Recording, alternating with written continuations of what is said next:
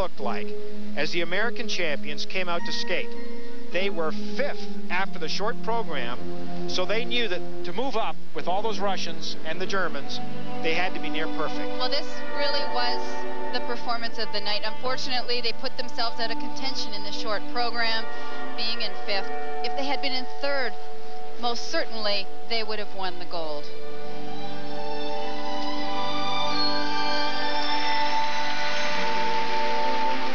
They came to Edmonton as the three-time U.S. champions, but boy, does he have a little experience at the World Championships. You know, he went to his first World's in. Are you ready for this? 1981 as the Danish men's singles champion. His dad was Danish. But Todd Sand is from Burbank, California. I guess you can't get more red, white, and blue than that.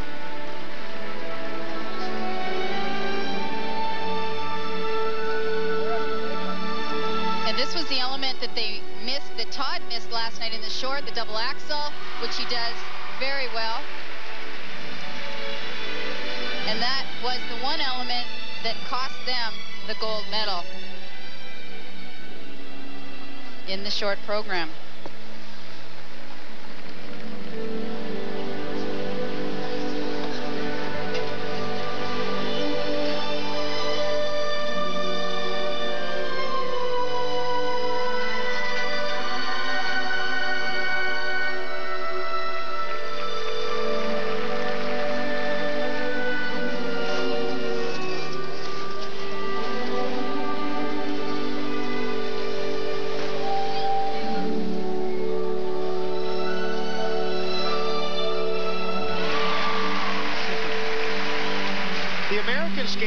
Make much of the romance between these two. They got married last summer, and they say they've been trying to inject more passion into their skating.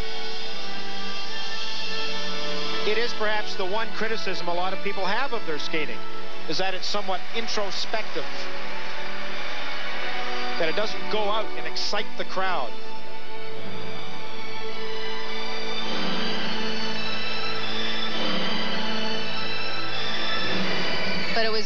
The only performance tonight